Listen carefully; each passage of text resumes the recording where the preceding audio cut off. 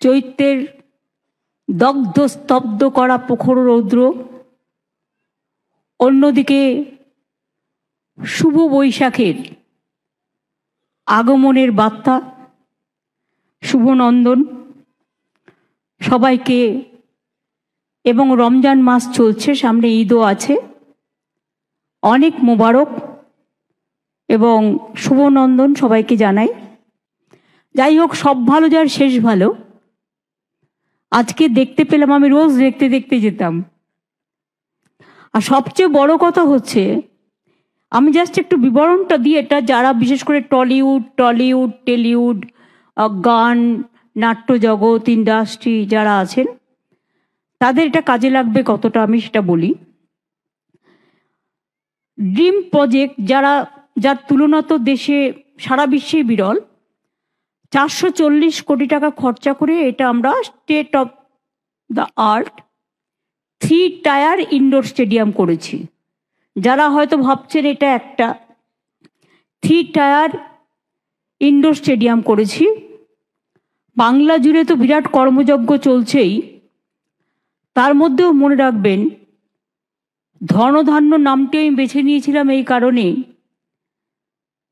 আমি ভাবতাম দ্বিজেন্দ্রলাল রায় এত সুন্দর একটা কবিতা লিখে গিয়েছেন, কিন্তু তার নামে তো কিছুই নেই। আমি যখন রেলমন্ত্রী ছিলাম, আমি কৃষ্ণনগরে একটা সেতু করে দিয়েছিলাম। এখানেও একটা ধনধান্যের সেতু আছে এবং এই স্টেডিয়ামটার নাম যখন আমাদের ঠিক হয়, আমি নবান্নর সাথেই মিলিয়ে একদিকে নবান্ন, অন্যদিকে ধনধান্য, নবান্নর পাশে উপান্ন এখানেই আছে সৌজন্য। আর সম্পূর্ণ করেছি একটা, সেটা হচ্ছে সমস্ত জায়গায় যত কার পার্কিং এখানেও কার পার্কিং আছে। প্রায় চারশো কার পার্কিং যারা আলিপুর চিড়িয়াখানায় আসবে, যারা উত্তীর্ণতে আসবে, যারা আলিপুর জেল যেটা প্রেসিডেন্ট আলিপুর জেলে যেটা আমরা মিউজিয়াম তৈরি করেছি, ওটাও দেখার মতো জিনিস। এইভাবে তৈরি করে করে শুভান্ন আছে, একান্ন আছে, সৌজন্য আছে, উত্তীর্ণ আছে, উপান্ন আছে, নবান্ন আছে, ধনধান্য আছে। প্রচুর এবং শঙ্খটা ভেবেছিলাম এই কারণে। শঙ্খটা হচ্ছে মঙ্গলের প্রতীক। এবং আমাদের মেয়েরা যখন শঙ্খ বাজায়, শুনতে খুব ভালো লাগে। আর শঙ্খের সাথে সমুদ্রের একটা মিলন আছে। সমুদ্রে গেলে দেখবেন শঙ্খের এটা দেখা যায়। তাই আমরা দেখছি অর্ডিনারি করে কি হবে তো অনেক আছে। আমরা যখন ইন্টারন্যাশনাল কনভেনশন সেন্টার করলাম, রাজারহাটে, ওই কনভেনশন সেন্টার কিন্তু ভারতবর্ষ কেন পৃথিবীতে অনেক জায়গায় নেই। আমি নিজে হাইড পার্ক দেখতে গিয়েছিলাম। দেখলাম কিছুই নেই। জাস্ট একটা সরোবর, তিন চারটে দোকান। আমি হেঁটে হেঁটে পুরোটা ঘুরেছি। আমি মনে করি এটা একদিন বিশ্বের এক নম্বর পার্ক হবে। যেটা রাজারহাটে। প্রতিদিন পাহারা দিতাম, রোজই দেখতাম, টিন লাগাচ্ছে। টিন লাগালেই বুঝতাম প্রমোটিং হবে। দিয়েও দিয়েছিল। এবং আমি ববি, বালু অরূপেদের সবাইকে বলতাম, ওরে শিগগিরই এটাকে আটকা। আমি জানতাম আমাদের গভর্নমেন্ট আসবে আসলে তো কিছু করতে হবে। তো একদিন আমি গেছি দেখতে মানে গভর্নমেন্ট হয়ে যাওয়ার পরে, বিশ্বরও ছিল আমার সাথে, আরও দু একজন রিপোর্টার ছিল। বলল, কোথায় ঢুকছো? আমি চল না, একটা জঙ্গলে যাই। তারপরে ওখানে দেখলাম, বাস টাস, পোতায় এটে নানা রকম মাটি টাটি ফেলা। তখন আমি বললাম, শুনুন হান্ড্রেড এইটটি একরের লেক আছে এখানে। কি না হতে পারে? এবং এখন তো যেভাবে ওই ইকো ট্যুরিজম পার্ক মানুষের দৃষ্টি কেয়েছে আগে তো মানুষের যাওয়ার কোথাও ছিল না। সুন্দর করে তৈরি করা হলো। Glass house. তার অপোজিটে আমি ভাবলাম, একটা মাদার ওয়ার্কস মিউজিয়াম করলে কেমন হয়? কারণ লন্ডনে প্রাইভেটে আছে গভর্নমেন্টের নেই। এবার ওটা তৈরি হলো। এবার ভাবলাম, আমি যখন এগারো দু হাজার এগারো সালে গাজল ডুবার কাজ দিয়ে যাচ্ছিলাম। আমার হাতে একটা আমার কম্পিউটার ছিল। তো আমি দেখছি একদিকে জঙ্গল, একদিকে জল, একদিকে প্রকৃতির হাতছানি। কি সুন্দর জায়গা, যেন হাতছানি দিয়ে ডাকছে। আমি ছবিটা শুধু তুলে নিয়ে এলাম। এবার যখন অমিত মিত্র ফাইন্যান্স মিনিস্টার হলো, আমি ছবিটা দেখালাম। দেখিয়ে বললাম, এখান থেকে দার্জিলিং পঁয়তাল্লিশ মিনিট, কালিম্পং চল্লিশ মিনিট, শিলিগুড়ি চল্লিশ মিনিট, এখান থেকে সানসাইনও দেখা যায়, কাঞ্চনজঙ্ঘাও দেখা যায়। এখানে জায়গাটা কার? প্রথমে খুঁজলাম জায়গাটা কার? বলল ইরিগেশন ডিপার্টমেন্টের ভালোই হলো, জায়গাটা তো আমাকে কাউকে চাইতে হবে না। এরপরে আমি ওটা গাজল ডোবা নয়, ওটা একটা ডোবা ছিল। আমরা বলতাম না ডোবা না ডোবাখানা আমাদের গত গান আছে। হ্যাঁ সেইটাতেই আমরা তৈরি করলাম ভোরের আলো। এবং সেখানে অবশ্যই আপনারা যাবেন, গিয়ে দেখবেন। এবং আমি একটা ফ্লাইওভারও করে দিয়েছি, যাতে শিলিগুড়ি থেকে চল্লিশ মিনিটে পৌঁছানো যায়। এবং সেখানে প্রায় তেত্রিশ পঁয়ত্রিশটা কটেজ তো আছেই। পাথওয়ে আছে, ইউথ হস্টেল আছে, হেলিপ্যাডও করা হচ্ছে। সব কিছু আছে। নেই যে, সেরকম কিছু নেই।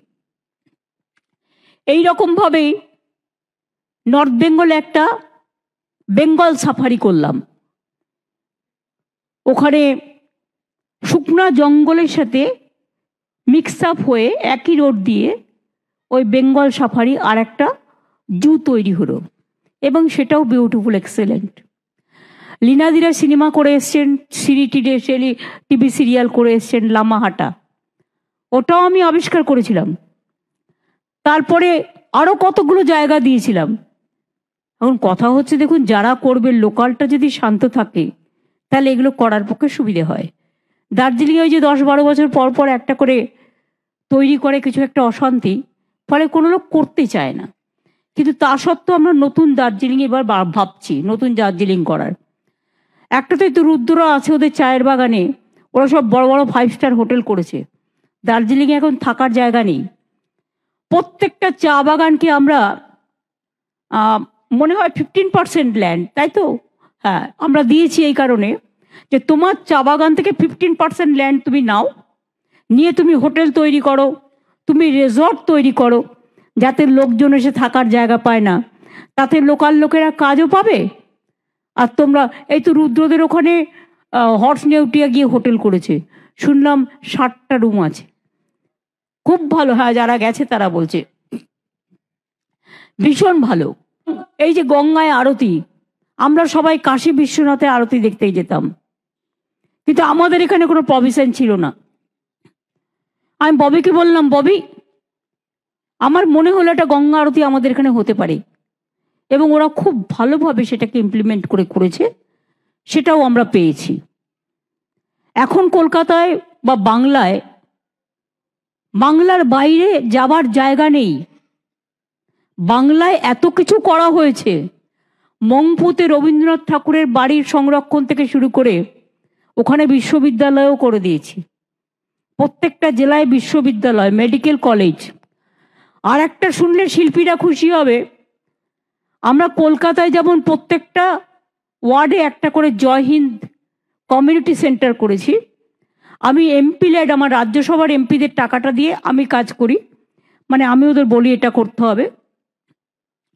আমি রাজ্যসভার এমপিদের টাকা দিয়ে একশো তেত্রিশটা কমিউনিটি সেন্টার গ্রাম বাংলায় করে দিচ্ছি। ফলে এই কমিউনিটি সেন্টারগুলো থাকলে কি হয়? আপনার নাটক করার পক্ষে, আপনার থাকার পক্ষে, আপনার সামাজিক অনুষ্ঠান করার পক্ষে আপনার সাংস্কৃতিক অনুষ্ঠান করার পক্ষে এগুলো খুব কাজে হয়। আমাদের মেয়েরা, রিচা, তিতাস, ঋষিতা, কোচিং রাজীব দত্ত তাদের পারফরমেন্স দেখে আমরা সোনার মেয়ে এবং সোনার ছেলে আখ্যা দিয়ে আগামী দিন তাদের, তারা যাতে এত আরও বিশ্ববরেণ্য হতে পারে, আমরা তাদের নানা রকমভাবে সাহায্য করব। কারণ আমি চাই বাংলাটাকে এগিয়ে নিয়ে যেতে।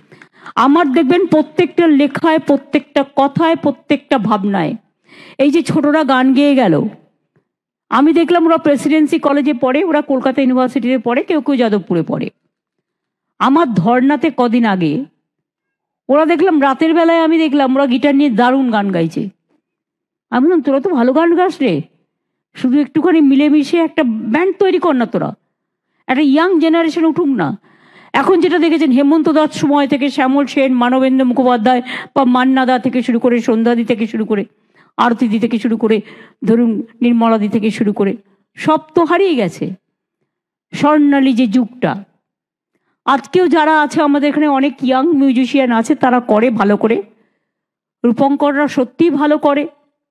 রূপঙ্করী বলুন ইন্দ্রনীলি বলুন ভূমি বলুন, শিরাধাই বলুন প্রত্যেকে খুব ভালো করে। এবং আমি তাদের গানকে অ্যাপ্রিসিয়েট করি। লোপা থেকে শুরু করে সবাই আছে। হয়তো সবার নাম বলতে পারলাম না, সবাই আছে। কিন্তু তারপরেও তো জেনারেশনটাকে উঠতে হবে। আমি যখন ফার্স্ট রাজনীতিতে এসেছিলাম, আমার জেনারেশনটা কিন্তু আজও কাজ করছে। যেটা আমি তুলেছিলাম, যুব করতে গিয়ে, ছাত্র যুব। এবং আগামী টোয়েন্টি ইয়ার্স তারা করবে। তারপরের একটা জেনারেশন আমি তৈরি করেছি, যেটা তারপরেও পঞ্চাশ বছর করবে। আর একটা জেনারেশন তার নিচে আমি করছি, যেটা হচ্ছে এখন তার যদি আঠেরো হয়, আপনি যদি এখন গড় অ্যাভারেজ আশি ধরেন, তাহলে অত বছর তারা করবে? কিন্তু প্রবলেমটা কি জানেন? আমরা যখন ছোট্ট ছিলাম, আমরা খুব নজরুল গীতি গাইতাম। নদ- রবীন্দ্রসঙ্গীত গাইতাম। দ্বিজেন্দ্রলাল রায়ের গান গাইতাম, অতুল প্রসাদের গান গাইতাম, রজনীকান্ত সেনের গান গাইতাম। আমি যখন ছোট্ট ছিলাম, মিন্টু দাশগুপ্ত বেঁচে ছিলেন তিনি প্যারোডি গাইতেন। ওনার একটা ছোট্ট টিম ছিল। সেই টিমটাকে আমি হারমোনিয়াম বাজাতাম আর লিড করতাম। মিন্টু দা তারপর অবশ্য বছর খানেকের মধ্যে মারা গেছেন। সেই জন্য আমাদের একটা কলেজে ফাংশন থেকে শুরু করে এগুলো আমরা শিখেছিলাম। আমি ইংরেজি গানেরও ভক্ত, আমি অনেক ইংরেজি গান খুলে খুলে শিখি। হান্ড্রেড মাইলস থেকে শুরু করে every night in my dreams, টাইটনের সব গান কিন্তু আমি জানি। দেখি, হিন্দি গানও অনেক জানি। কিন্তু আমি মনে করি, আমরা যতটা হিন্দি গানের জিগজাক সুরটা পছন্দ করি, বাংলায়ও কিন্তু অনেক সুর আছে। এটা মিলিয়ে দিন না। রবীন্দ্রনাথ যেটা মিলিয়েছিলেন, রবীন্দ্রনাথের একটাই সুর। কিছু কিছু জায়গায় সাউথ ইন্ডিয়ান ক্লাসিক্যাল একই লাবণ্যে অথবা আবার ঝরিছে ঝড়ো ঝড়ো ঝরিছে বাড়ি ধারা সুমন যেমন এখন বাংলা খেয়াল করছে। আমরা আসুন না। সব সময় যে ঝিকঝ্যাক করতে গেলেই একটা আমাকে অনুকরণ করতে হবে তা নয়। আমি ভালোটা অনুকরণ সব সময় করব। সবটাই হোক। কিন্তু তার মধ্যেও আমাদের বাংলা গানের সুরমালাটা যেন হারিয়ে না যায়। আমাদের বাংলা চর্চার সুভাষাটা যেন হারিয়ে না যায়। যে যত ইংরেজি বলুন, যতই হিন্দি বলুন, যাই বলুন, যেটা যার মাতৃভাষা সেটাতে সে কথা বলতে এত কমফর্ট ফিল করে যে সে সব ভাষা বলতে পারলেও নিজের মাতৃভাষাটাকে সে ভালোবাসে এই একটাই কারণে। আমি বিদেশে গেলেই প্রথমে দেখি বাংলাদেশের কারা আছে। কেন দেখি? কারণ আমেরিকায় গিয়ে আমার মনে পড়েছিল আমি যখন ইউনাইটেড নেশনসে গিয়েছিলাম, ও তো নিজেদের কিচেন তখন তো ওই হোটেল টোটেল অত ছিল না, ওই আমেরিকানদের হোটেল সব কিচেন নিজেদের। রান্না করে খাও দাও, এ করো। তো কখন মিটিং করব আর কখন রান্না করে খাব? তখন খুঁজতে খুঁজতে আমি বের করলাম বাংলাদেশকে। আমাকে ওরা এমনি অতিথি পরায়ণ হয় খুব। আমাকে বললেন, ও দিদি, কি খাইতাছেন? আমি বললাম, কি খাইবো, কিছু নাই। তখন বলল, আমি আপনা আমরা আপনাকে খাবার পাঠাইমু। বলে, একটা ক্যানে করে এমন খাবার পাঠালেন যে আমার একদিনের খাবার সাত দিন হয়ে গেল। আর আমি একটু গেও টাইপের লোক, তো ঘরোয়া টাইপের লোক। ওখানে গিয়ে না পেয়েছি বালতি, তখন না পেয়েছি মগ, আর আমি বলছি আটানব্বই, সাতানব্বই সালের কথা। না বালতি, না মগ। শেষকালে আমি দেখি কিচেনে একটা সসপ্যান আছে। ওই সসপ্যানটা নিয়ে এসে আমি স্নান করেছি। সুতরাং এগুলো মজার মজার ঘটনা ঘটে। এবং এইসব দেখে দেখে তো শেখা। কিন্তু কাউকে বুঝতে দিইনি জানি না। আমি বিদেশের ফ্লাইটে প্রথম চড়েছিলাম। শুধু মনে রাখতাম নিচে পাশের লোকটা কি করছে দেখছি। এই করে করে। এই করে করে শিখতে শিখতে শিখতে শিখতে এই জায়গাটায় আমরা এসছি। তাই আমি মনে করি আজকে যে কাজটা করেছে পিডাব্লিউডি হিটকো মেনটেনেন্স করবে। আমি বলব চিফ সেক্রেটারিকে আর্কিটেক্ট থেকে শুরু টেকচার থেকে শুরু করে ইঞ্জিনিয়ার থেকে শুরু করে, এমনকি মনে রাখবেন, এই কাজগুলো করে কিন্তু আমার গ্রামের গরিব মজদুররা। কিন্তু যখন কাজটা হয়ে যায় না, তারা আর আসতে পারে না, তারা ঢুকতেও পারে না। তখন তাদের জন্য একটা নো এন্ট্রি লাগিয়ে দেওয়া হয়। তার কারণ, তাকে টিকিট দিয়ে কিনতে হবে, তারপরে আসতে হবে। আমি তো সিএসকে বলব, একদিন এই হলেই যারা কাজ করেছে যত গরিব মজদুর, তাদের সবাইকে একটা ফেলিসিটেট করবে। এবং ইঞ্জিনিয়ার থেকে শুরু করে আর্কিটেকচার থেকে শুরু করে তাদের সকলকে। আপনাদের শুধু আমি বলি, এটা চার একর জমির ওপর অত্যাধুনিক প্রযুক্তিতে তৈরি, এমনি হয়নি। এই প্রেক্ষাগৃহে ফ্রান্স থেকে নিয়ে আসা বিশেষ ধরনের জিঙ্ক, দস্তা, সিট ব্যবহার করে বাড়িটি শঙ্খের আদলে তৈরি করা হয়েছে। স্টিল লেগেছে তিন হাজার সাতশো মেট্রিক টন। দস্তার চাদরের ওপর নকশার কাজ হয়েছে। এটা সাজানো হয়েছে আয়ারল্যান্ড থেকে নিয়ে আসা তিরিশ হাজার আলো দিয়ে। এবং তাকিয়ে থাকার মতো স্থাপত্যের পাশাপাশি আন্তর্জাতিক মানের পরিষেবা দেওয়ার ব্যবস্থাও এখানে হয়েছে। এখানে মেন স্টেডিয়াম অডিটোরিয়াম যেটা আপনারা বসে আছেন দু হাজার সিটের অ্যাকোমোডেশন এছাড়াও পাঁচশো চল্লিশ সিটের আর একটা মিনি অডিটোরিয়াম আছে। আর স্ট্রিট থিয়েটার যেখানে একসঙ্গে তিনশো পঞ্চাশ জন দর্শক উপভোগ করতে পারবেন, তার জন্যও একটা জায়গা আছে। শিল্পী এবং অন্যান্যদের থাকার জন্য তৈরি হয়েছে পনেরোটি শয্যার একটি ডরমেটারি এছাড়াও করা হয়েছে ভিআইপি লাউঞ্জ তিনটে ব্যাঙ্কোয়েট হল ফুড কোর্ট ও কাফেটেরিয়া দোতলায় একটি আন্ডারগ্রাউন্ড গাড়ি পার্কিংয়ের ব্যবস্থাও করা হয়েছে। তিনশো গাড়ি যাতে একসাথে থাকে। এছাড়াও সামনে আমরা একটা করেছি সম্পন্ন। কেন আমি এটা সম্পন্ন নাম দিয়েছি? মাল্টিপার ওটা আটশো গাড়ি ধরবে। ওটা সাউথ সিটি মলের মতো। একদিকে জু, একদিকে আলিপুর মিউজিয়াম একদিকে সৌজন্য, একদিকে আপনার উত্তীর্ণ আর একদিকে হয়ে গেল ধনধন্য। তো গাড়িগুলো কোথায় রাখবে? অত গাড়ি, এই প্রোগ্রাম হলে, এই প্রোগ্রামেই তো হাজার হাজার গাড়ি আসবে। তো যদি এত গাড়ি আসে তো রাখবে কোথায়? সুতরাং দুটো জায়গা হয়ে গেল। একটা এখানে আন্ডারগ্রাউন্ড পার্কিং হয়ে গেল। প্লাস আপনার সম্পন্নটা আমি নাম দিয়েছি তার কারণ, এই পাঁচটা জায়গাকে কানেক্ট করবে। একটা কার পার্কিং মাল্টি লেভেল আমরা তৈরি করে দিয়েছি। সেটাতে আটশো গাড়ি ধরবে, এখন ফার্স্ট পেজে পাঁচশো গাড়ি ধরবে। কাপে সেন্টারও হয়েছে। আমি ববেকে বলেছি সিস্টেমটা পুলিশের সাথে মিশে বিনীত এখানে আছে। আমাদের মনোজ আছে এইভাবে করতে। গাড়িটা ছেড়ে দিয়ে চলে গেল পার্কিংয়ে এবার সে যখন বেরিয়ে এলো, তার গাড়ির নাম্বার দিল নাম্বারে ডেকে নিল। এক সেকেন্ড দু সেকেন্ডের ব্যাপার লাগবে। আস্তে আস্তে ওরা ক্লিয়ার করে দেবে। তাহলে আপনাদের গাড়ি রাখার জায়গারও প্রবলেম হবে না। ইলেকট্রিক চার্জিং স্টেশনও করা হয়েছে সেজন্য। ভবিষ্যতের দিকে কারিয়ে মানে তাড়িয়ে তাকিয়ে। সুতরাং এই সব কিছুকে নিয়ে একটা উন্নয়নের ধারা চলছে। এক বছরের মধ্যে করে দিতে বলেছি। দেবাশিস সেন এখানে আছেন। তার বেশি যেন না হয়, আমি গিয়ে দেখে এসছি। আমরা যে একটা জগন্নাথ ধাম তৈরি করছি না, দেখবেন পুরীর জগন্নাথ ধামের উচ্চতায়। এবং পরপর পাঁচটা মন্দির আছে, ভোগখানা থেকে শুরু করে, লোক থাকা থেকে শুরু করে, এত বড় সতেরো একর জায়গার ওপরে। এবং আমি নিজে দেখে, নিজে দেখেই আমি অবাক হয়ে গেছি যে এত সুন্দর জিনিস হতে পারে। হাফ কিন্তু হয়ে গেছে। ছবিতে দেখতে পাবেন, হাফ হয়ে গেছে। হাফ বাকি আছে, শুধু একটাই তফাৎ থাকবে। পুরীর মন্দিরটা নিমকাঠের এ দিয়ে হয় বারো বছর পর পর, যেটা ঠাকুরের মানে জগন্নাথ বলরাম সুভদ্রা।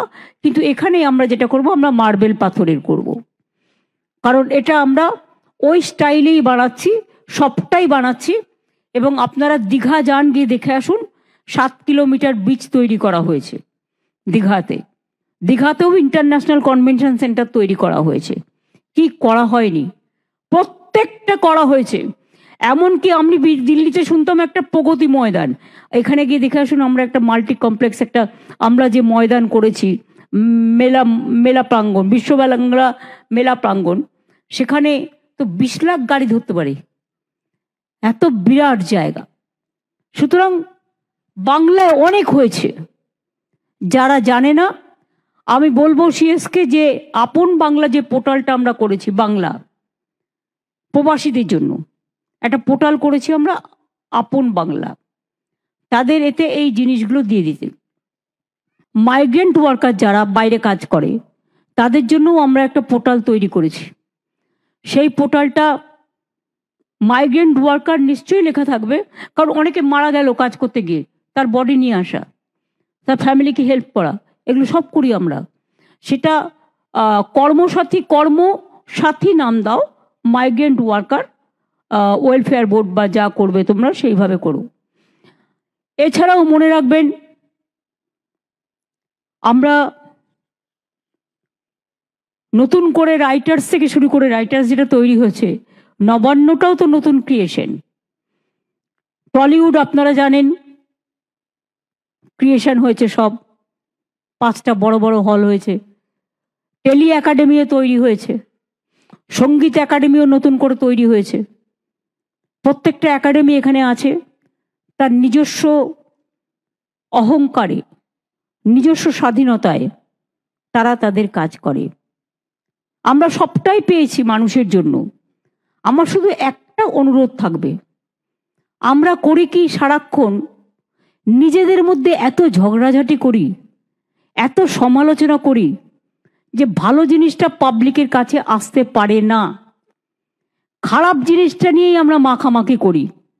আর এখানকার সংবাদ মাধ্যম, তাদের তো সবচেয়ে সেরার সেরা পুরস্কার আমি দেবো একদিন।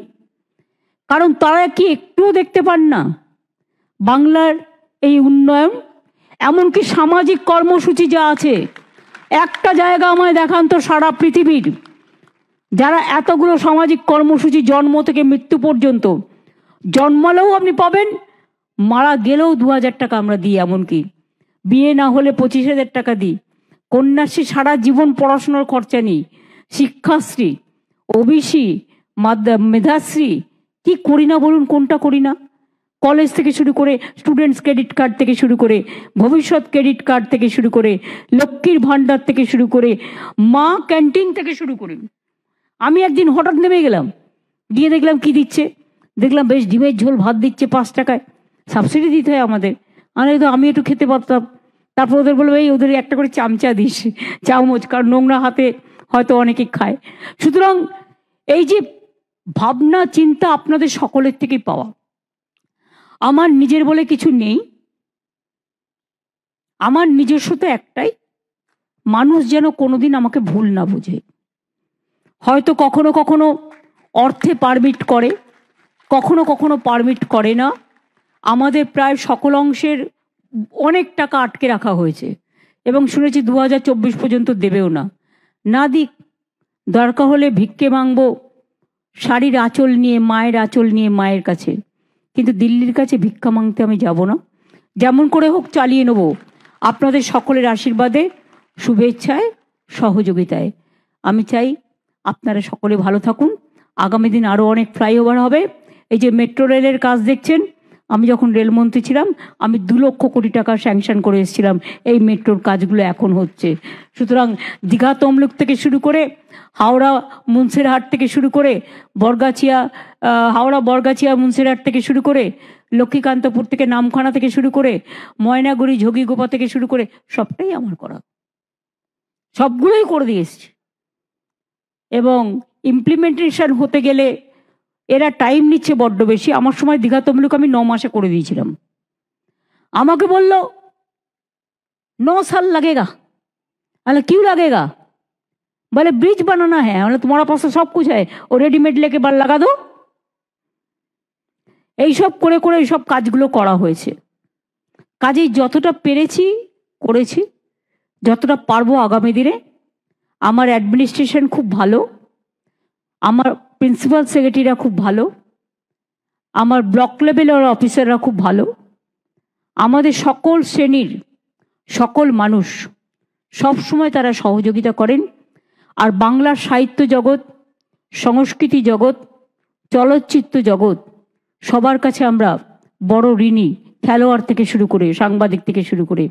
আপনারা আমাদের সর্ব ব্যাপারে আমাদের দিশা দেখান। আমরা কারও চাকরি খাব না। আমরা হঠাৎ করে তাজমহল উঠিয়ে দেবো না। আমরা হঠাৎ করে ভিক্টোরিয়াও উঠিয়ে দেবো না। ইতিহাস ইতিহাস।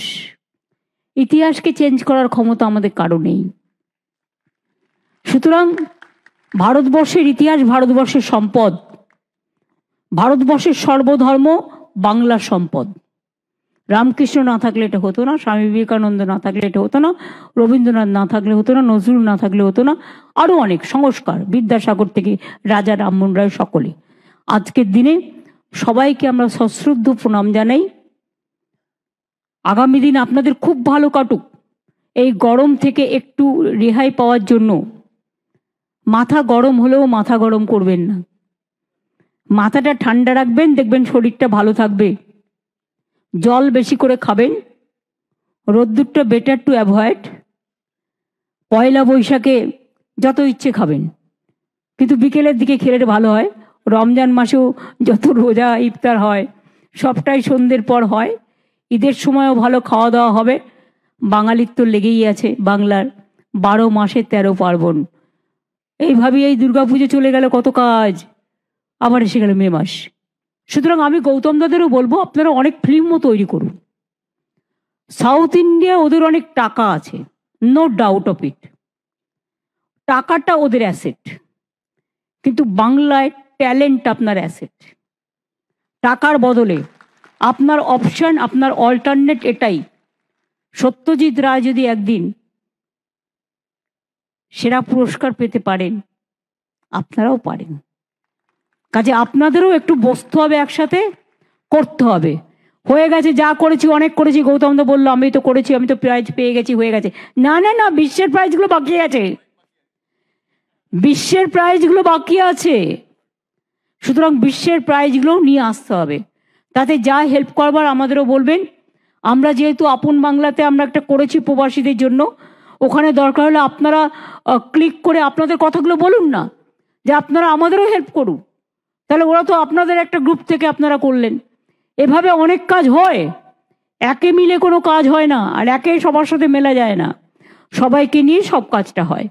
ভালো থাকুন, সুন্দর থাকুন। নতুন বছরে আসুক আপনার জীবনে। শুভ নন্দন নিয়ে, শুভ বার্তা নিয়ে, শুভ কামনা নিয়ে, শুভেচ্ছা নিয়ে, শুভ কর্মপথে, শুভ কর্ম নিয়ে। শুভ ধর্ম নিয়ে, শুভ মানসিকতা নিয়ে, শুভ মনুষ্যত্ব নিয়ে এবং যেন আমরা সবাই বলতে পারি অন্ধকারের উৎস হতে উচ্চারিত আলো, সকল দ্বন্দ্ব বিরোধ মাঝে জাগ্রত যে ভালো, সেই তো তোমার ভালো। আমরা যেন অহংকার না করি, নিজেদের অহংকারী না ভাবি। আমরা যেন সকল সময় বলতে পারি আমার মাথা নত করে দাও হে তোমার। আজকে জ্ঞানী গুণীজনেরা এত কথা বললেন আমার সম্বন্ধে। আপনাদের চরণ স্পর্শে প্রণাম জানাই সকলকে। আমাদের ভিডিও ভালো লাগলে লাইক এবং শেয়ার করুন। কমেন্ট সেকশনে গিয়ে জানান আপনাদের মতামত।